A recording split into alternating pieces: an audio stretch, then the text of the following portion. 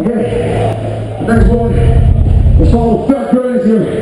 It's called Fat Are Cool.